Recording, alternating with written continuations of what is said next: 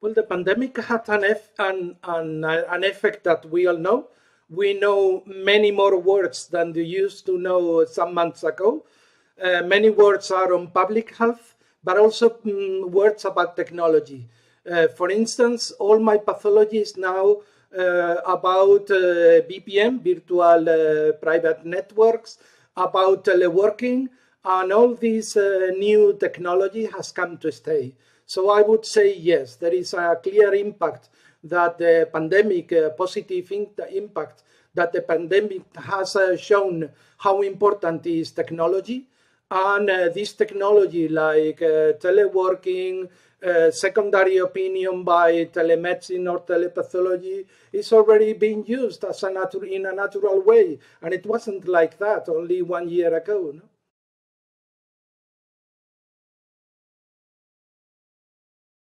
In my opinion, uh, artificial intelligence is, is going to be uh, developing a lot in the next few months or next uh, few years because um, uh, we are becoming aware that in many in many parts of our specialties, for instance, in um, cancer of the prostate, in breast cancer, and so on, it's uh, showing excellent results.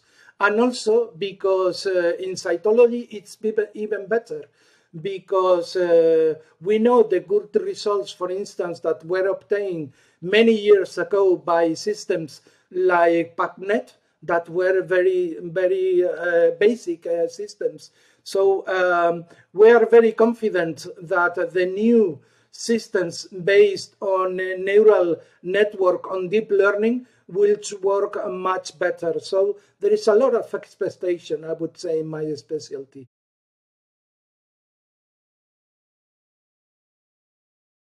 In the pathology department in the hospital of Cadiz, we are uh, working with uh, deep learning that we have developed with the engineers of the of the university in order to, uh, on one side, detect the areas where uh, breast cancer is located so that we can do our, our quick uh, screening of the slides containing cancer.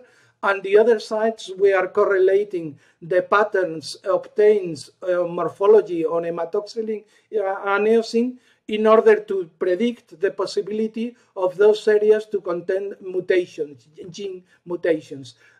So this means that also in cytology, uh, morphological patterns will be an excellent predictor of uh, mutations, of survival, and many other parameters that uh, still we have to study.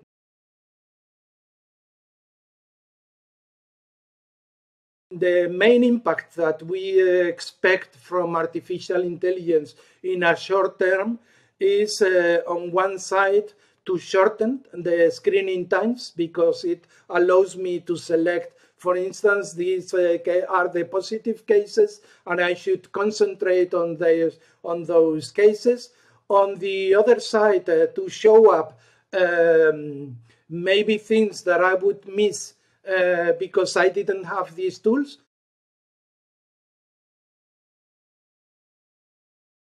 Artificial intelligence right now, we know, for instance, that it's able to predict with morphology uh, certain mutations or certain or certain uh, uh, genetic alterations and so on.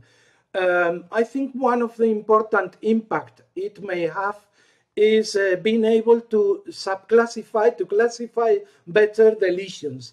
Right now, uh, we are used to, to say high-grade lesions, low-grade ASCUS, but biology is not always like that. It's more a continuous uh, grade of lesions. So probably with artificial intelligence, being able to quantify it and, all, and all, uh, not only to put things in one specific place, but quantifying will be an important tool that will help us also to understand better the biology of, of, of cancer.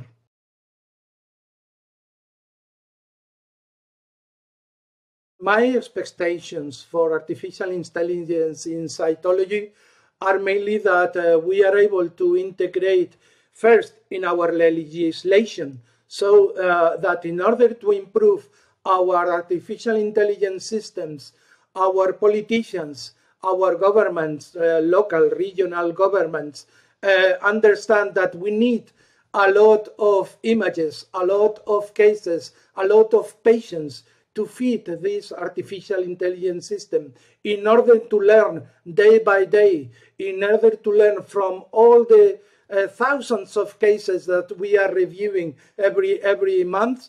And uh, this is my my main expectation that uh, we will be able uh, to use all that information that is uh, in our archives, uh, but and is not being used. But with artificial intelligence, all the power of, of all the, those data will show up.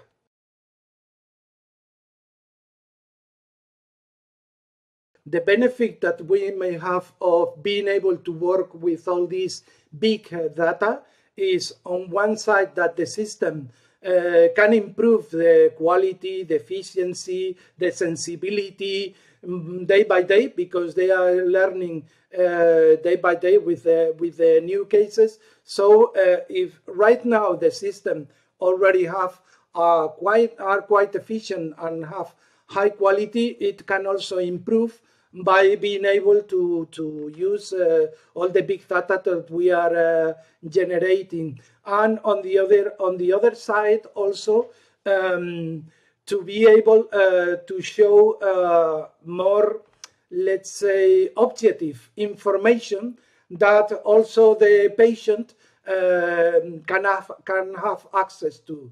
Uh, right now, for instance, main of the data that we are offering to the patient in our results are based on human interpretation. Uh, if this is combined with automatic and objective information, this will allow us to make reports that are more understandable to the patient because are more objective uh, decisions that we can make.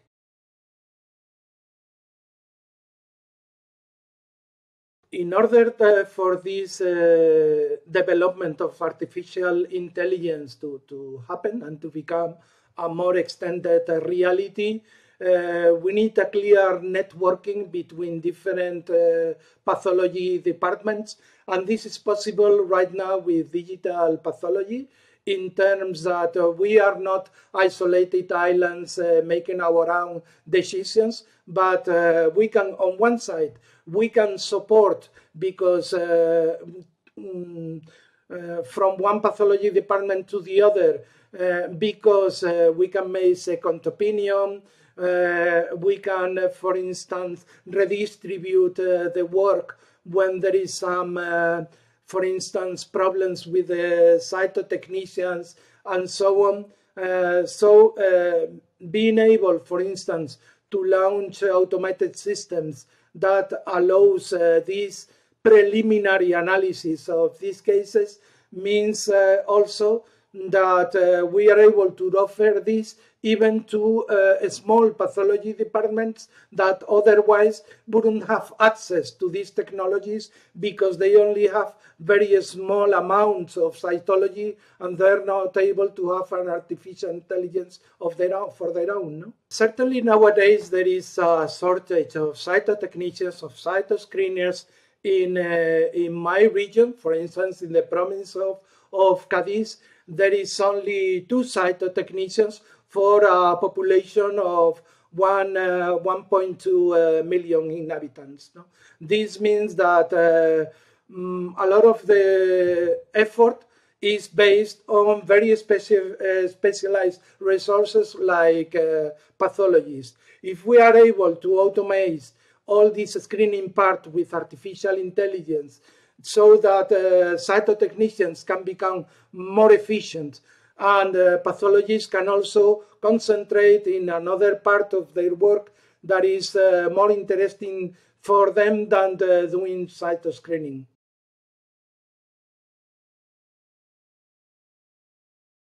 In order artificial intelligence to really foster this development, um, mm, there are some um, peculiarities. Uh, for instance, with the validations of the systems. For instance, in order to obtain CE marking, uh, mm, it is clear that the system in some cases has to be closed. Uh, this means that uh, those systems that are able to learn from continuously from new cases probably right now is more difficult for them to obtain CE marking than uh, those systems where the algorithms is already known.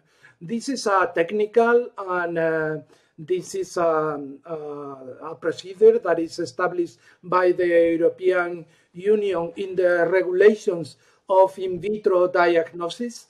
And uh, since artificial intelligence is a tool that is under this umbrella of artificial intelligence.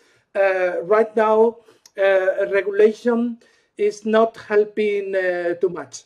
Uh, probably it will happen like in COVID, uh, that we have learned that leg legislation is fine, but in some cases, you have to be more flexible in order to obtain vaccines earlier and in order to obtain better solutions for cancer earlier. If we compare what's happening on FDA and the European Union, uh, we can see that there is quite a few uh, systems already approved by both uh, by both um, FDA and CE marking.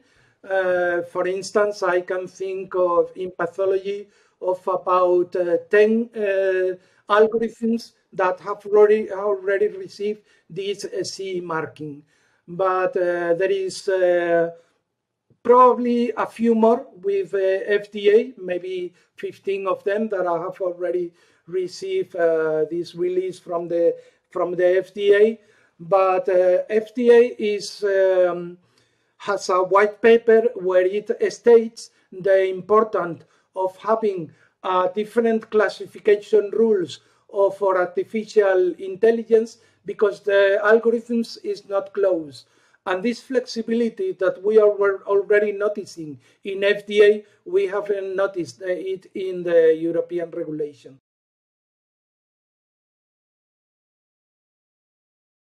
I think the future is excellent for uh, image, uh, image analysis based on artificial intelligence and on digital uh, pathology because um, it has been demonstrated that the technology is already working and this is happening with only a few, maybe thousands, maybe less than one million. Can you imagine when we include millions of cases in these systems, probably the technology will be even more efficient than, than it is today.